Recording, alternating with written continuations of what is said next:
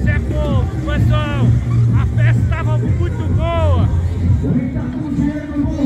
No último dia eu vi as meninas que eu gosto de dançar comigo.